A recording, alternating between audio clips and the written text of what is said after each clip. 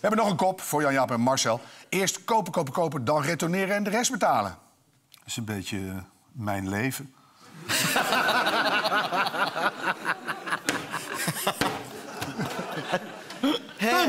Punt voor ons. Ja. Dit gaat over internetwinkelen. Dat dat helemaal de spuigaten uitloopt. Dit- Net ze kopen maar wat. En dan blijken ze het niet te willen hebben. Dan retourneren ze het. En dan moeten ze het toch nog betalen. Ja. Daar gaat het Dat doen artikel mensen over. echt. Dat doen ja. mensen echt. Maar dat is natuurlijk al jaren gaande. En waarom stond dit deze week specifiek in de krant, denk je, Marcel? Omdat er eh, steeds meer wordt gekocht door corona op internet. Dit, eh, en dat lopen, dan lopen we met z'n allen tegen problemen aan. En omdat er waarschijnlijk bedrijven zijn die dit dan weer voor jou gaan regelen. Kijk, Is dat het? Mhm. Dat is ongelooflijk. Alles is op een gegeven moment een bedrijf die dat dan gaat Ja. regelen. Ja. En wat regelt dat bedrijf dan?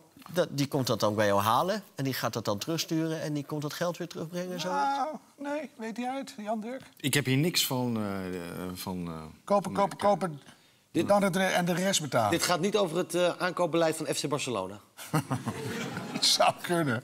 Nee. Maar het is wel, eh, eh, er is, een, eh, er is zo'n internetwinkel eh, van wie we de naam niet noemen, maar de, de grootste in Nederland, zullen we maar zeggen. Ja? En die, ehm, wat die sinds kort doen, ik zag een filmpje daarvan, de, hadden ze bijvoorbeeld een zwembadje bij iemand verkeerd bezorgd of te laat of zoiets, zo in de zomer. Eh, Op het moment dat je denkt, nou, nu kunnen we wel een zwembadje gebruiken. En dan om het goed te maken, en dan natuurlijk ook om te laten zien hoe goed wij zijn...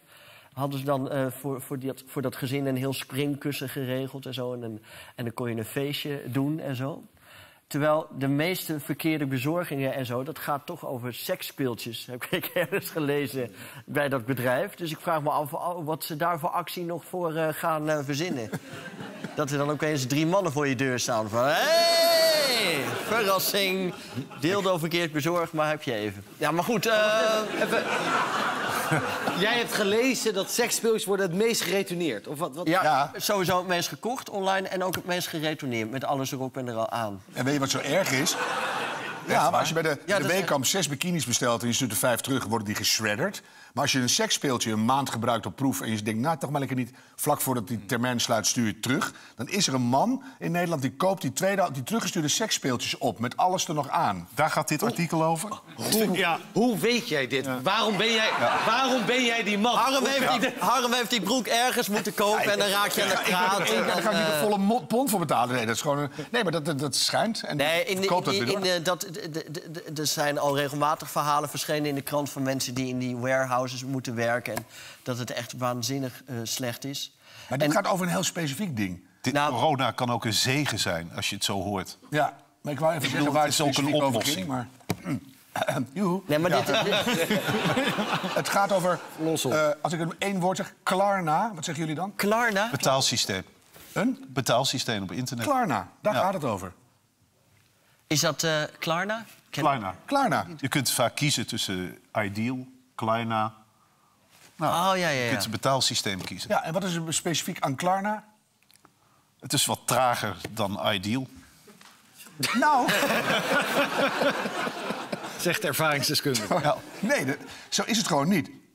Online spullen bestellen en pas achteraf betalen, daar gaat het over. Het Zweedse bedrijf Klarna zorgt ervoor dat dat kan. Klarna betaalt bij bestellen alvast de leverancier... en jij betaalt daarna aan Klarna. Vooral bij de aanschaf van lifestyle-producten en kleding is achteraf betalen populair. Ook al krijg je al snel een aanmaning aan je broek van Klarna. Aan die broek die je net gekocht hebt. Dat denk ik, ja.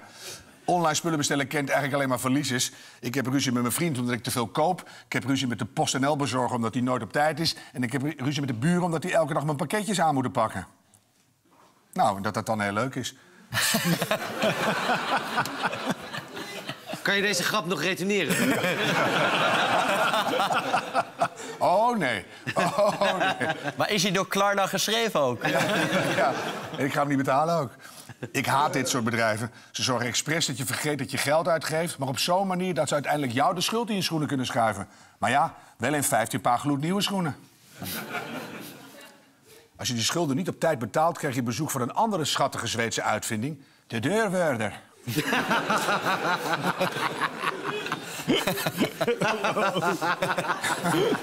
Yo, vind je het nou ontzettend leuk waar je naar gekeken hebt?